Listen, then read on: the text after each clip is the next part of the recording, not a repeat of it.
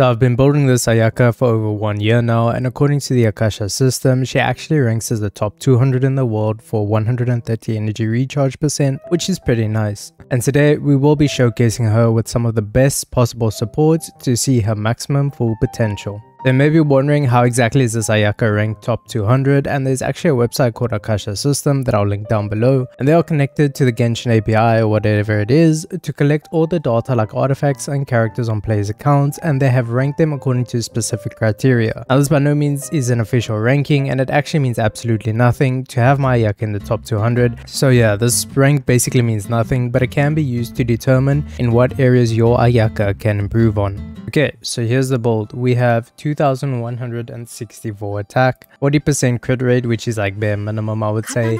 200 Ayaka, please. 278.6 crit damage and 146.4 energy recharge. Now this energy recharge is quite high because of Zephyr's Moonlight. It is around 133 without it and then 81.6 cryo damage bonus. We are running a cryo damage bonus goblet. And then 4 please blizzard stray of course this piece right here is actually my best piece because of the amount of attack percent I get even though the crit value is low. I'm running this piece compared to this one because there's more attack, more damage output and even compared to this piece there's more damage output but if I really want to just focus on single targets I would run this piece which is my best crit value piece. The only piece that I really need to upgrade is this one. I do have this but I'm sticking with this one because I don't need the crit rate and this one has attack percent. And we have this piece right over here, 37.3 crit value if I'm not mistaken. I can't remember, but it's uh, it's a pretty good piece. I do have this really nice energy recharge piece, but obviously we want attack percent as the main stat. Probably one of the best pieces on my account, this cryo damage bonus goblet. Now, if I were to run Maltganion Shimenawa, she would probably get this because it's in set. I do have this cryo cup over here, which is in set for Ayaka.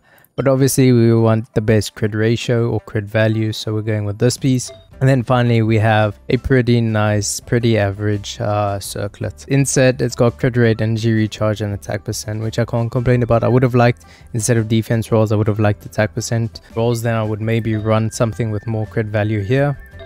But I'm happy with this build, it does the job. C6 of course with uh, triple crown.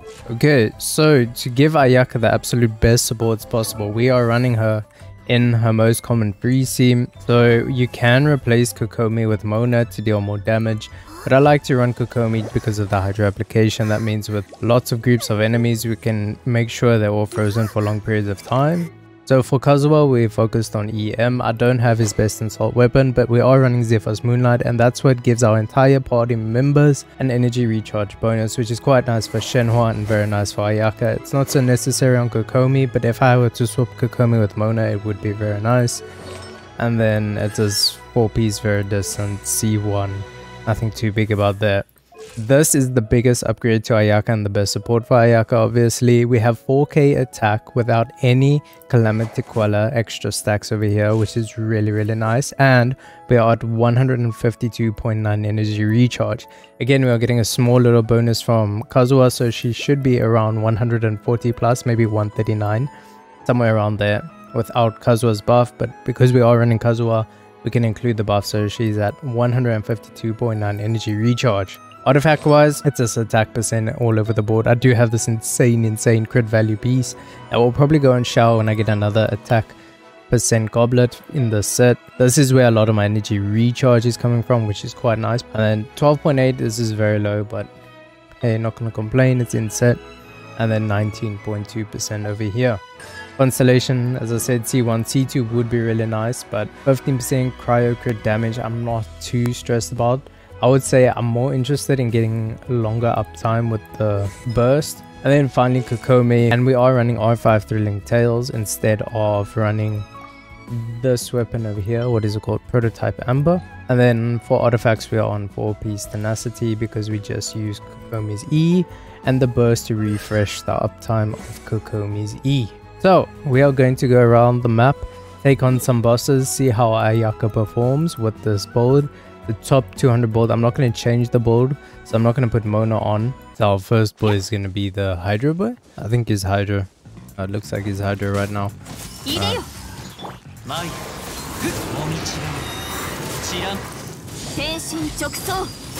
We're just gonna use our burst up straight away.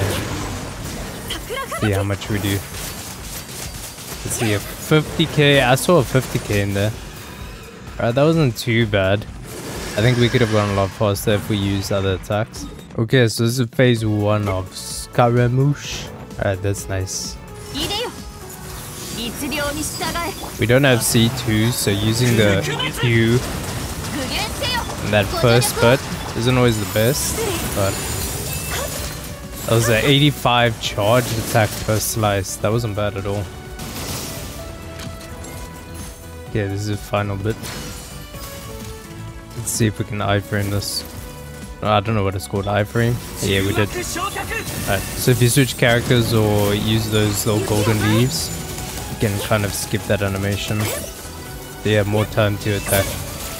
Because these will spawn in while that animation is going and you can just attack them. Uh, I don't want to use food buffs, so we're just going to go in raw. And we'll focus on using Ayaka's charge attack first.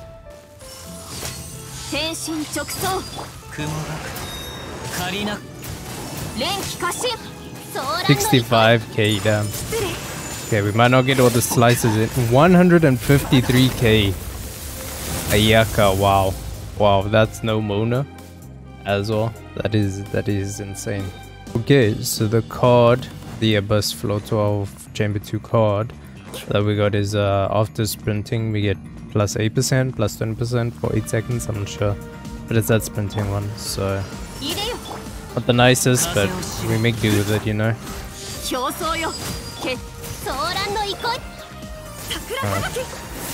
Boom. These guys should go pretty, pretty quick. I like to go to this guy. Kind of get all of them together. And then we can swirl them.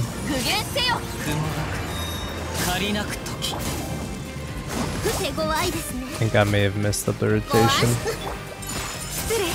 And then Ayaka's burst up now. Alright. Uh, there we go. They should all die. That guy on the edge there we could probably attack, but doesn't really matter.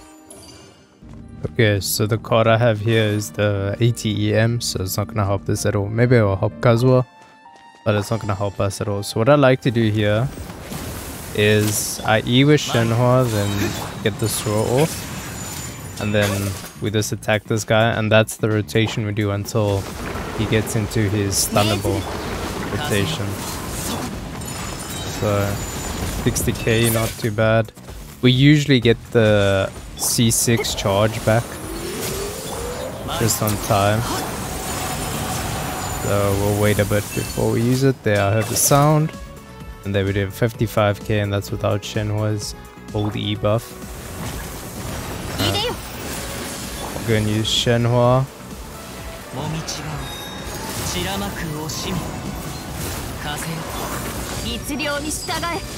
Oh, I'm on the wrong side, but it's fine. We'll try our best. Yeah, for C6 shit, for C6 Ayaka, it doesn't really matter. Absolutely so much fun and definitely my favorite team.